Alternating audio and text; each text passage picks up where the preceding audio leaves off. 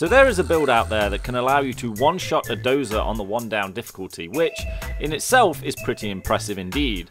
But is there a way to one-hit a dozer with a melee weapon and kill him instantly? Hmm, actually, there is. There are a selection of skills that you need to have in order to do this, which I will show you now and then show it in action at the end.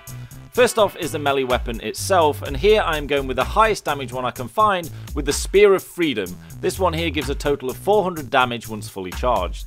This number becomes very important when we start piling on the skill multipliers. As a perk deck, I'm going with the Armourer deck to give me the best chance of survival when I'm up close with heavy specials.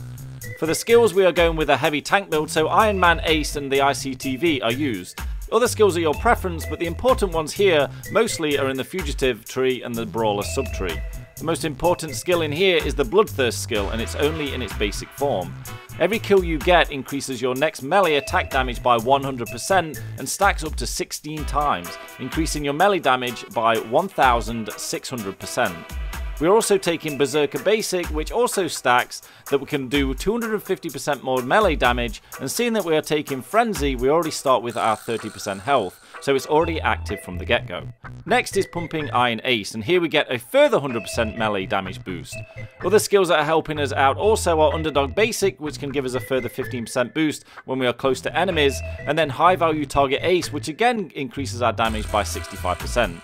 Now I have no idea in what order these all stack, and I think altogether it's actually completely overkill and way exceeds the health of any dozer, but it's fun to completely max this out and see what we can do with it. What is important in order to get this one hit kill is to stack your 16 kills first with any weapon that you want to use, and then just highlight the dozer, charge your melee up, and go smack that bitch. Just a fun thing to try out, really good to do, but actually kinda useful if you tweak it a little.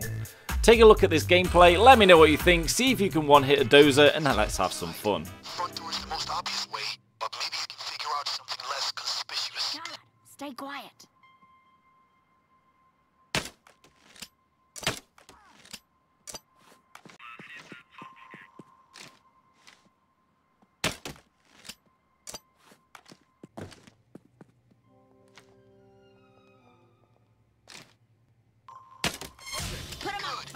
The cops think twice about coming in here.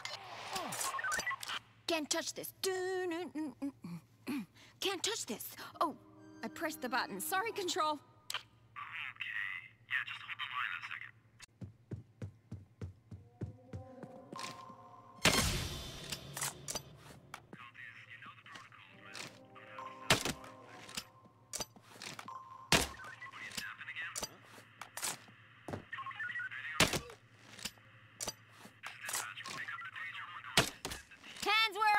Him. That's the alarm, guys.